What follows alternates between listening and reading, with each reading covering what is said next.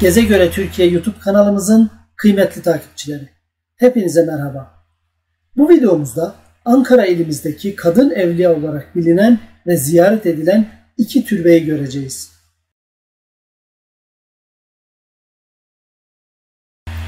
Bu türbelerden birincisi Ulus Meydanı'ndan Atatürk Bulvarı'nı takip ederek Ulus Çarşısı ve Merkez Bankası'nın önünden aşağı inilince her gelen veya itfaiye meydanı olarak bilinen yerdedir.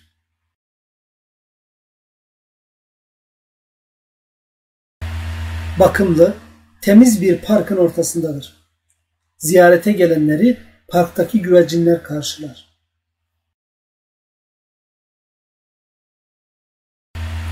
Türbenin kitabesi mevcuttur. Bu kitabeden türbenin 1570 yılına ait olduğunu ve bir kadına ait olduğunu anlıyoruz.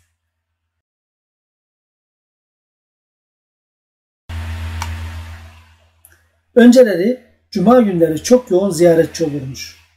Adak adayanlar, dua edenler, duaları kabul olup adaklarını yerine getirenler kesme şeker dağıtırlarmış. Cuma gününü beklerlermiş. Ancak pandemi sebebiyle şimdilerde böyle bir yoğunluk görülmüyor. Hatta gelen ziyaretçi sayısı oldukça azalmış.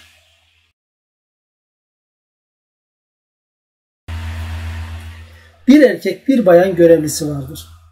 Bu türbenin bakımı temizliği ile ilgilenirler. Türbe her gün açıktır. Kariyada Hatun'un hikayesi Ankara'da geçer. Tarih 1500'lü yıllardır. Ankara'nın güzel kızı ile Yağız Efes'i birbirlerini çok severler. İki gencin arasındaki bu sevgi evlilikle pekişir. Evlendikten hemen sonra kız hamile kalır her hamile kadın gibi bu gelin de aşerir. Ama gelinin aşermesi bir başkadır. Ağustos ayında canı kar yemek ister. Eşi Yağız Efe ne yapsın ki Ağustos ayında Ankara'da kar nereden bulunsun? Gelin sürekli dua eder. Kar yemek ister. Günler günleri kovalar.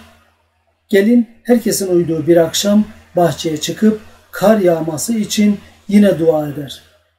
Hacet kapıları açılır ve kar yağmaya başlar. Gelin kız da gün ağarıncaya kadar yağan karlardan yer. Sabah olunca Ankara'yı bembeyaz karlar içerisinde görenler şaşırır. Gelin kızın öyküsü çabucak yayılır. Ancak gelin yediği karlardan hastalanarak yatağa düşer. Kısa bir süre sonra da vefat eder. İşte bu türbede yattığı düşünülen kişinin bu gelin olduğuna inanılır. Duasının gücü Ağustos ayında kar yağması bu kişinin erdiği evliya olduğu inancını pekiştirir. Halk arasında kar yağdı sultan olarak anıla gelir. Kar yağdı sultanın hikayesi opera sanatçılarının da dikkatini çeker. Aynı isimle bir opera eseri sahnelenir. Kar yağdı Hatun adlı opera eserinin librettosunu da yazmış olan Nezihe Araz İyi ki kitabe var da türbede yatanın bir gül nazikter olduğunu anlatır diyerek bu türbede yatan kişinin bir kadın olduğunu tespit eder.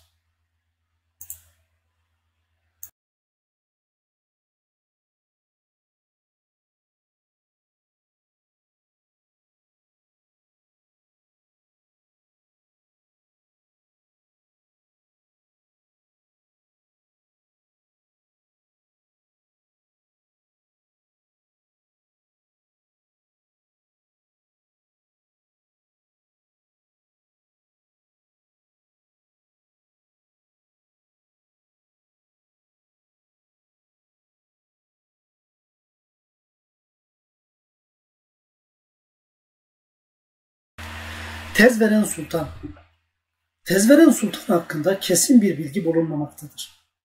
Halk arasında Ankara'nın kadın evliyalarından olduğu kabul edilir ve ziyaret edilir. Mezar taşına Selçuklu ulularından diye yazılmıştır. Bu mezarı ilginç kılan durumlardan birisi yaya ve araç trafiğinin yoğun olduğu bir yolun ortasında bulunmasıdır. Diğer özelliği ise bir kadına ait olduğu görüşüdür. Altındağ Belediye binasının arka kısmında İbn Sina Hastanesi'nin hemen üst tarafındaki kavşak içerisindedir. Ulus dikim evi toplu taşıma araçları bu mezarın yanından geçer. Mezarın hikayesi şöyledir. Vaktinde bu mezarın bulunduğu yerde bir konak vardır. Tezveren Sultan bu konakta hizmetçi olarak çalışmaktadır.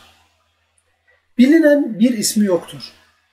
İşlerini çabucak halletmesi sebeple olsa gerek kendisine tezveren denilmiştir.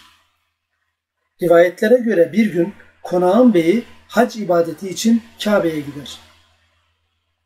Evin hanımı ise canı un helvası çeker. Konağın hizmetçisi olan bayan helvayı hazırlar. Konağın hanımı hazırlanan helvayı yerken ah bey de bunu çok severdi. Burada olsaydı o da yeseydi der. Konağın hizmetçisi sessizce kalkar, mutfağa gider, geri gelir. Konağın hanımına üzülme hanımı. Beyime de bir tabak helva götürdüm, verdim, geldim der. Konağın hanımı beyinin Kabe'de bulunduğunu, mutfağa gidip gelme süresinde nasıl beyine helva verdiğini sorar. Olacak iş mi der, güler geçer. Bu kerametin gerçekliği konağın beyi hacdan elinde helva tabağıyla dönüp hacda sen de bizimleydin. Helva ne kadar güzeldi. Sıcacık yedik. Eline sağlık deyince anlaşılır. Kerameti bu şekilde ortaya çıkınca tez veren artık tez veren sultan olarak anılmaya başlar.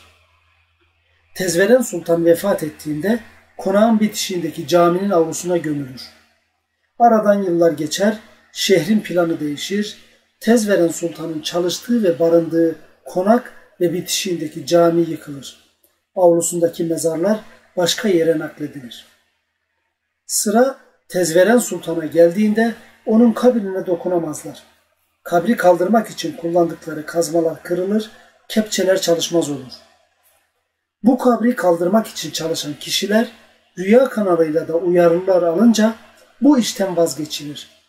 Şimdiki haline getirilip o kabri üç yol ağzında kavşağın orta kısmında